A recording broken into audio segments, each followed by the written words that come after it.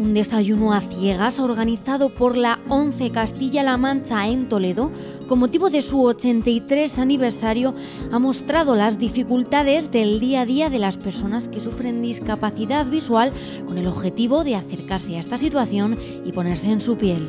Con este desayuno que hemos planteado con diferentes periodistas, medios de comunicación, para llegar a que la gente se ponga en nuestros zapatos y pueda entender a las personas con discapacidad visual grave.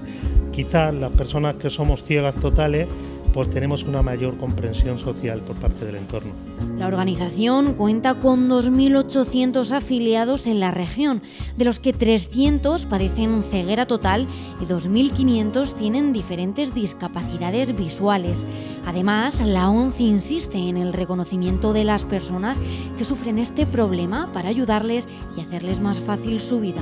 Una parte de la población que realmente tiene unos problemas de visión grave pero que no dan el paso a pedir los servicios o la ayuda que prestamos desde la ONCE, quizá por, por desconocimiento. La identificación siempre de la ceguera parece ser pues, con un bastón, con un perro guía, con una persona que no ve nada.